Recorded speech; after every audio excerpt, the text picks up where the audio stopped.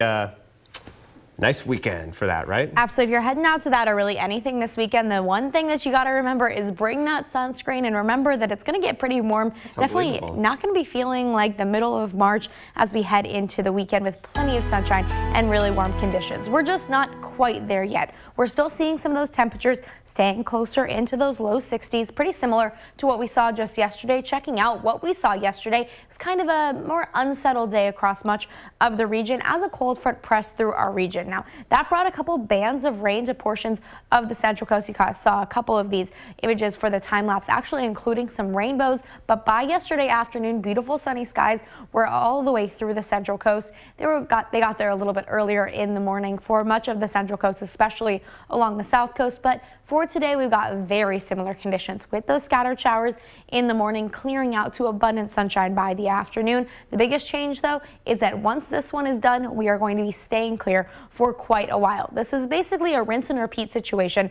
from what we saw just yesterday with that cold front making its way through the region, bringing us some scattered showers across the region.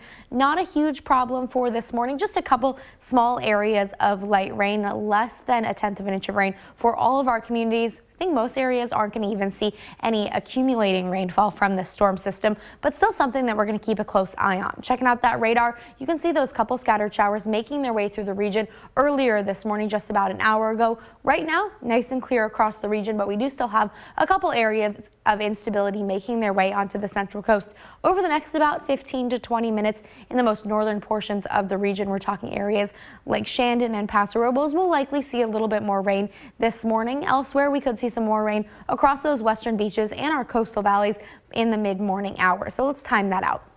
No major concerns right now, but by about 10 a.m., we're going to likely see that big cold front kind of fall apart as it makes its way onshore. But that's also going to bring us a couple scattered showers here and there. By about 10 a.m., this is what we're going to be looking like, continuing to see that scattered shower risk all the way through today. Minimal at best, still lots of sunshine by this afternoon. But as we head into Wednesday, clear skies are going to stick around and they're going to be here for quite a while.